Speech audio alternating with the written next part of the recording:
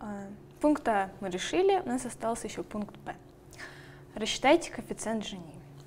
Ну вот смотрите, а, у нас получается а, такая плав, плавная кривая Лоренца, и на самом деле площадь под ней считать уже не так удобно. То есть, конечно, мы можем использовать интегралы, но именно для этой кривой Лоренца интеграл будет взять довольно сложно. А, поэтому давайте придумаем что-нибудь хитрое. А, что можно сделать? Вот смотрите, вот наша с вами кривая Лоренца.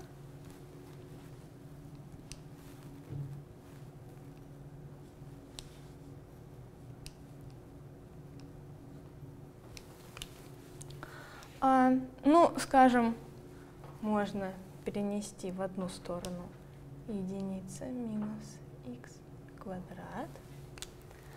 А, а y, наоборот, это у нас будет единица минус y. Ну, корень есть, корень это некрасиво. Давайте возведем все в квадрат. И левую и правую часть. У нас получится единица минус x квадрат равно единица минус y в квадрате. Ну вот смотрите, это что-то уже очень напоминает э, уравнение окружности. А, соответственно, у нас будет единица минус y в квадрате плюс x квадрат равно единице. Ну вот смотрите, когда у нас единица минус y в квадрате, это то же самое, что y минус 1 в квадрате. Правильно? Потому что у нас э, минус в квадрате э, погибает. Тогда получается, что у нас э, есть уравнение окружности э, с центром в точке 0, 1. Давайте ее изобразим.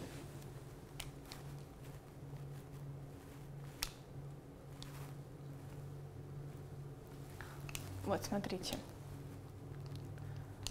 У нас есть точка. По x 0, по y единица.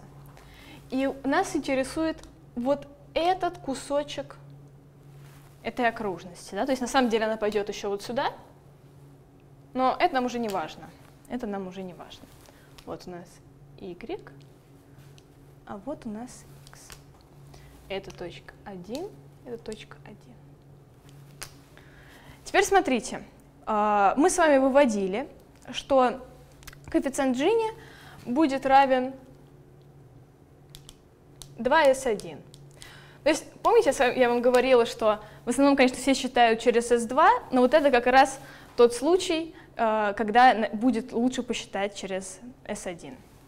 Ну вот смотрите, а, вот вся вот эта площадь, На самом деле это 1 четвертая площади круга, потому что вот у нас с вами там круг продолжается, да? И это сектор 1 четвертая. А, площадь круга. А, у нас равна π на радиус в квадрате.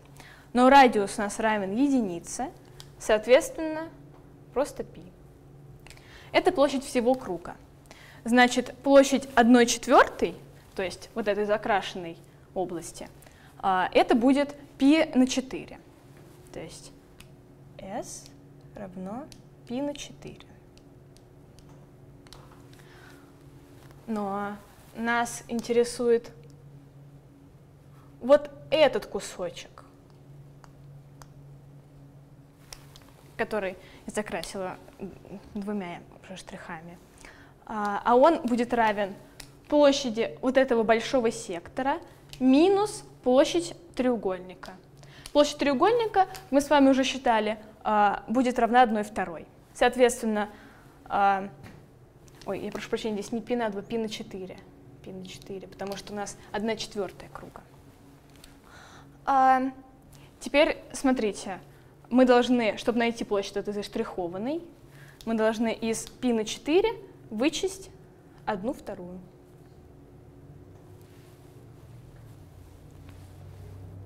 А, это площадь окрашенной области. Теперь нам нужно найти коэффициент Джини и подставим вот эту площадь S1 в формулу. У нас получится, ну, там надо умножить на 2, у нас π на 4 превратится в π на 2 минус единица. Это наш ответ.